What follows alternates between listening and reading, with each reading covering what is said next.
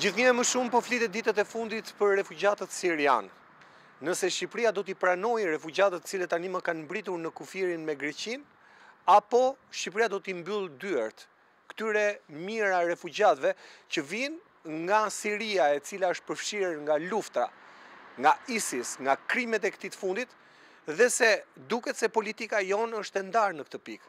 Ne kemi ardhur në xhaminë e Tufinës ku imami i kësaj xhamie është Gentian Mara. Gentiani e njeh mirë situatën në Siri pasi ka studiuar atje, për më tepër bashkëshorten e ka siriane dhe gjatë viteve të fundit Ai ka ndihmuar sirianë të larguar nga lufta, duke i ndihmuar ata me ndihma konkrete, duke i strehuar në shtëpinë e tij. Le ta takojmë.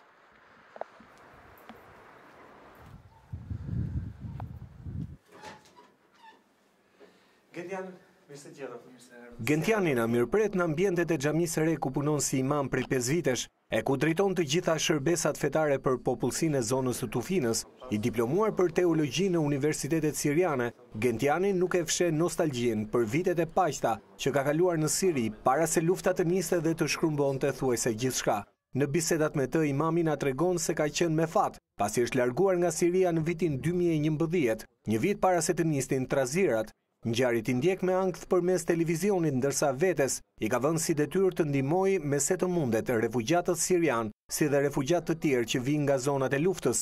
Ç'është e vërteta, rastet që unë i konsideroj që i kam ndihmuar me të vërtetë, përkufizohen në dy, pra nuk e quaj ndihmesë disa shërbesa të rastit e të ngjashme me radhë, ndërsa rastet që unë me të vërtetë kam Kontribuar janë dy, një rast një psikologe siriane të cilën e kam mbajt në shpi për tre muj me radhë, ku bashkëshortja ime duke qenë se është siriane i shërbente, sikur t'ishte nëna e saj, dhe një rast tjetër përsëri një nevojtar sirian këtu për tre muj të tjera me radhë. Këto janë dy rastet që unë mund t'i konkretizoj në ndihmë dhe në kontributin tim, ndërsa rastet e tjera janë me dhjetra nevoja të rastit një përkthim apo një ndihmes që a i mund të këtë pasur, duke qenë se dhe Shqipëria nuk është frekuentuar akoma shumë nga sirianët, pra akoma nuk kemi pas një fluks sirianësh të cilët kanë ardhë apo kalojnë nga Shqipëria. Duke qenë se ju vetë me sa di unë keni qenë në Siri, apo jo? Çfarë po ndodh në Siri?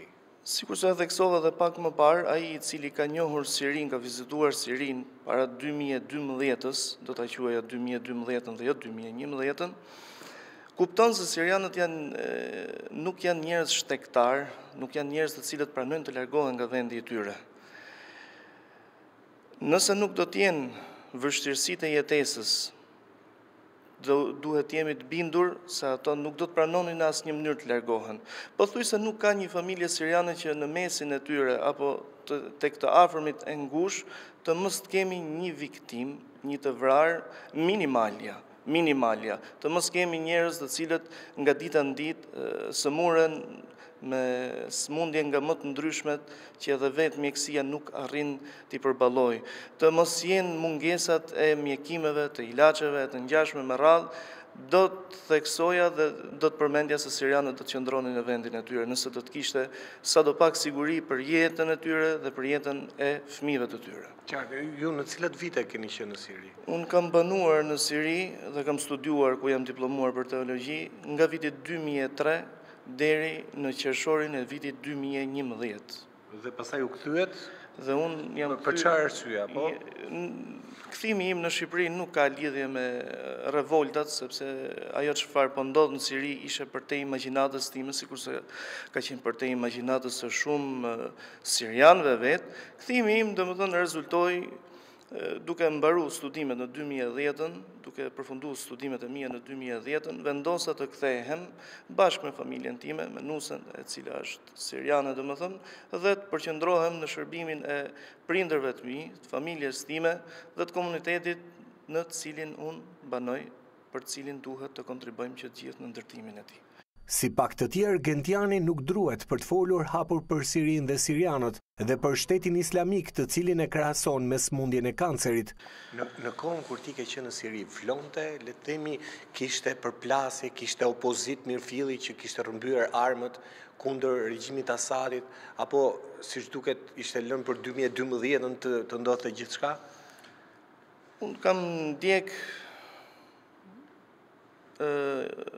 protestat e para të cilat kanë ndodhë në Siri, të cilat sikurse njihet botërisht janë nisur nga fmijë, kanë filluar nga fmijë, u implikuan më pas të rriturit, të mdhejt, derisa përfundoi aty ku është dhe sot domethënë pasojat e rënda.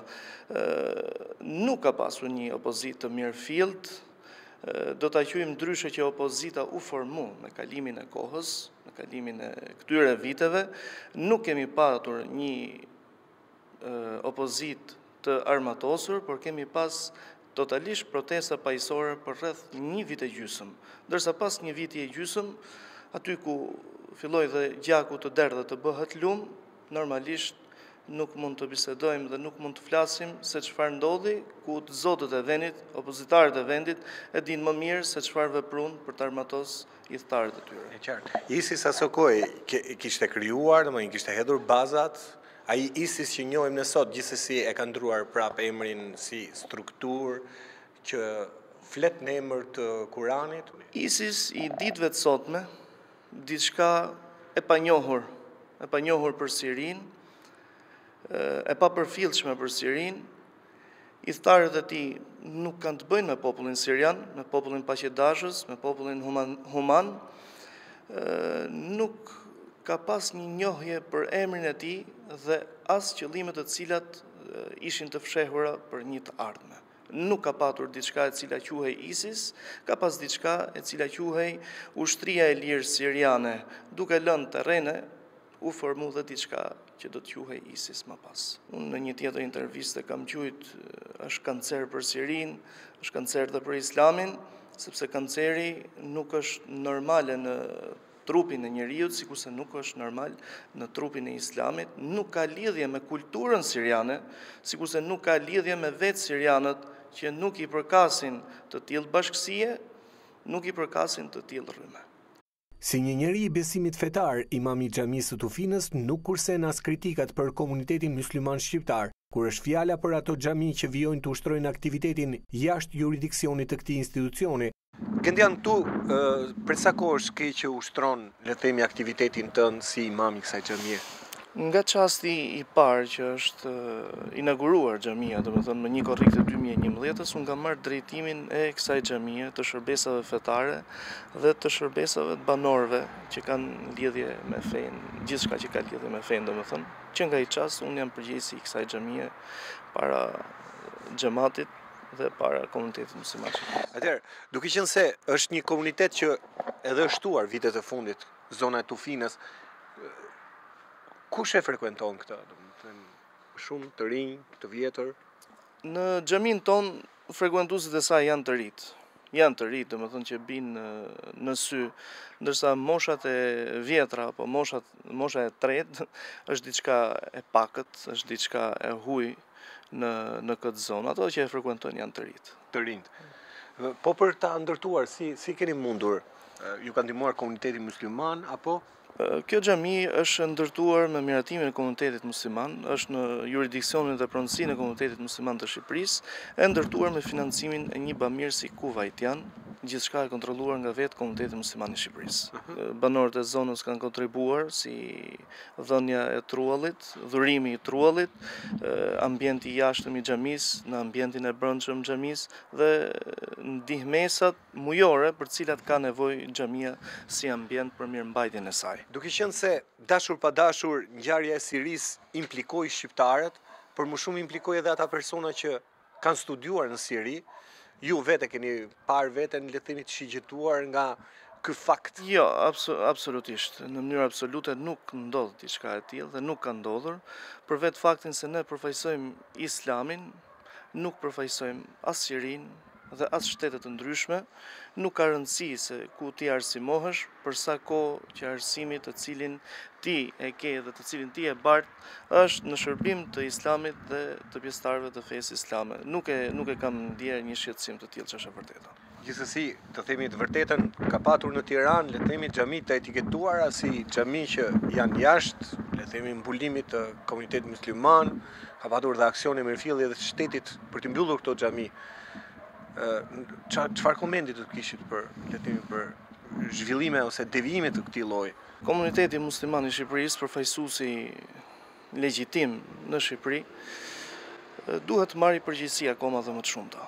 Duhet të marrë përgjegjësi akoma dhe më të shumta në shtrëngimin e stafit të tij, në shtrëngimin e stafit të tij dhe në përfshirjen e xhamive në juridiksionin e tij, në përfshirjen e xhamive në juridiksionin e tij. Pra nuk ka rrugë tjetër. Nuk ka rrugë tjetër. Kjo është kjo është ajo e cila unë mendoj. Lidhjet me Sirinë bëhen edhe më të forta pasi atje ka gjetur edhe njeriun e zemrës, bashkëshorten e tij, me të cilën ka dy fëmijë, një vajzë dhe një djalë. Pjesa tjetër e familjes së nuses së tij ndodhet e izoluar brenda Damaskut, qytet i blinduar nga forcat e Bashar al-Assad, ku hyrje-daljet janë tejet të limituara e ku çdo tentativë për t'i thyer rregullat paguhet me jetë. Për mua personalisht që njoh jetesën e sirianëve, njoh traditat e tyre, them që nuk ka diçka të vështirë, nuk ka diçka të vështirë në jetesën me një bashkëshorte siriane, Përkundrazi, jam në harmoni të plotë, kemi një mirëqenie në familjen tonë, një kuptim dhe traditat e vetë Sirisë nuk janë të largëta nga traditat tona, që është e vërteta. Aq më tepër që dhe ne si komb nuk jemi të huaj për sirianët, duke qenë se vetë në Damask ka një lagje të madhe shqiptarësh, arnautësh, komunitet goxha i madh për prej rreth 10.000 personave. Pra nuk ka një vështirësi Veç stresit të të afërmve të saj, apo se diçka ndodhi sot, apo diçka do të ndodhi nesër, siguria vetëm kaqja, absolutisht asgjë më tepër. Në të gjitha të tjerat, ka dashtë i madhi Zot, kemi qenë në harmoni të plotë. Ndihmën për refugjatët sirianë Imami e konsideron si një borxh të madh, që duhet t'ia shlyejë një populli që e ka mikpritur vite më parë, ndaj i bën apel shtetit shqiptar që të tregohet i përgjegjshëm dhe të mos i mbyllë kufinjtë. Ura lidhëse është burim fetar, sensibilizimi dhe humanizmi i cili duhet shprehur dhe duhet theksuar tek në veçanti tek njerëzit e fesë.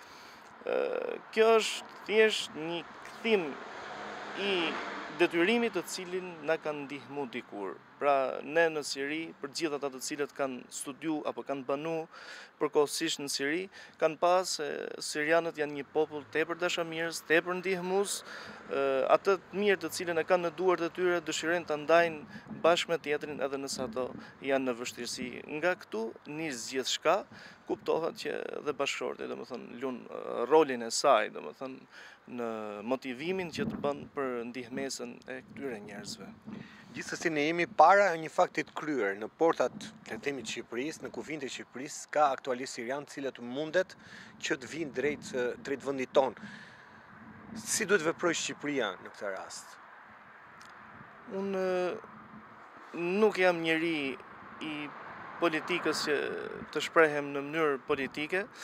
Mendimet e mia janë që Shqipëria e ka një farë mundësie, pra ka diçka, mundësi, si, si shtet, domethënë, të kontribuojë për këto njerëz të cilët po vuajnë, po vuajnë fëmijët e tyre, të cilët kanë të drejta të jetojnë sikurse jetojmë dhe ne të tjerët. Pra Shqipëria i i ka mundësitë, i ka ekspertët të cilët mund ta studiojnë me vëmendje, ta rishikojnë me vëmendje çështjen e hapjes së kufijve dhe pritjes së tyre, të një pjese të tyre, me aq sa mund ta përballojë qeveria jonë.